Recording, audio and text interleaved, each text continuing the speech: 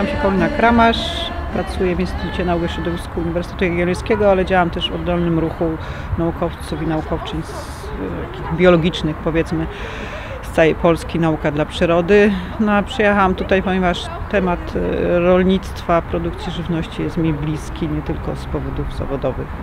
Dla mnie suwerenność e, żywnościowa to jest poczucie, że żywność, która jest dostępna dla wszystkich ludzi, jest produkowana w sposób taki, który jak najmniej zaburza środowisko.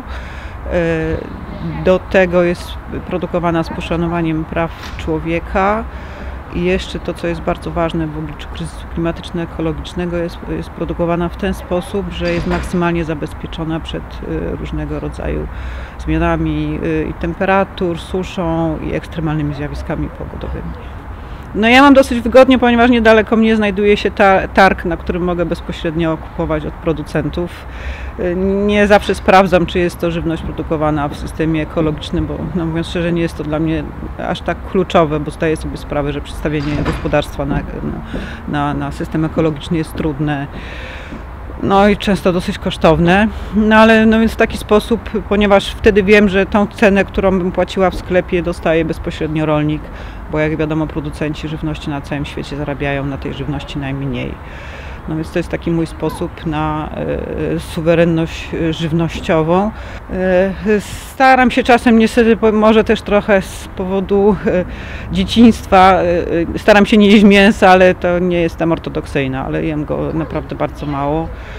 No staram się wszystkim wytłumaczyć, jak ważne jest to, żeby y, spożywać przede wszystkim żywność produkowaną lokalnie. Y, no, no, y, ponieważ ja się zawodowo właśnie od początku mojej prowadzenia badań przeze mnie zajmuję się owadami, to jest mi grupa szczególnie bliska, można powiedzieć, że to jest taka moja naukowa miłość.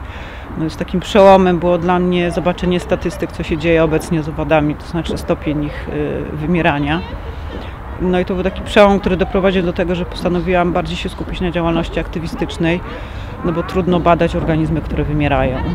To takie trochę jak badanie, może no nie trupa, no bo to też czasem cenne badać e, e, zwłoki, ale no po prostu no trudno badać organizmy, których za chwilę nie będzie.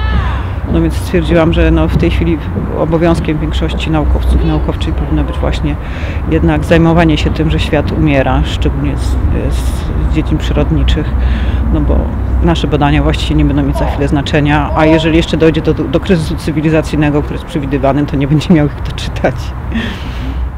To, co jest według mnie najważniejsze, to nie, nie tyle osobiste wybory, one są oczywiście ważne, ale to, co wiele osób podkreśla, że osobiste wybory powinny prowadzić do y, innych działań, to znaczy na przykład działań społecznych, do współdziałania na różnych gruntach, bo w tej chwili ruchów społecznych jest bardzo dużo, działają one na poziomie super lokalnym, wręcz na osiedlu, ale działają też w miastach, działają też bardziej ogólnopolsko, więc to jest e, według mnie najważniejsze, więc uważam, że to jest, to jest po prostu kluczowe.